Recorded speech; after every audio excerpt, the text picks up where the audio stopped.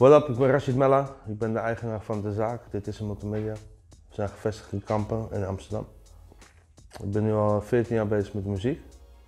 En uh, acht jaar in uh, de regio Overijssel.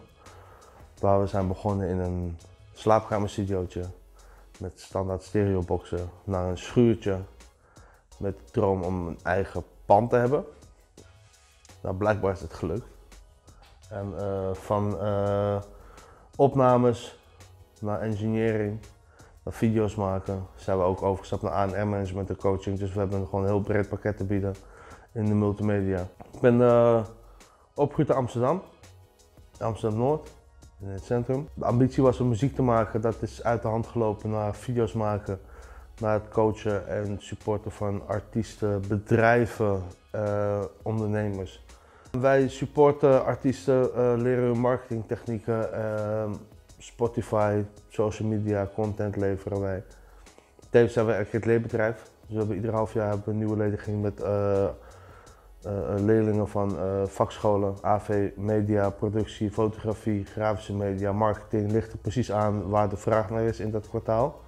dit is multimedia, dat is in een groot woord advisory consultancy. Dus voor artiesten, tot en met bedrijven.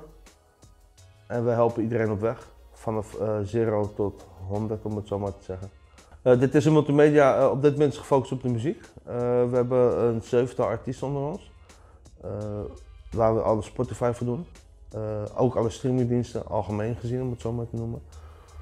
En we zorgen gewoon dat ze op een, op een plek zitten, dat er muziek uit wordt gebracht, er wordt gemixt, gemasterd, eventueel een clip erbij, content, koffer, story modus, uh, wall-modus op uh, Instagram. Dit is een multimedia, run ik samen met Mike, Mike Wesseling, dat is Mike's ook artiest van Dit is Multimedia. En Erikson de Lanoy, Sontje, ook artiest van Dit is Multimedia. Mike's al een tijdje, sinds dat ik zijn eerste clip heb geschoten, jaren terug. Hij komt ook uit Amsterdam-Noord, in principe uit dezelfde buurt als mij. Ik zou zeggen, hou ze in de gaten, er komt heel veel aan, heel veel moois. En dit is hem.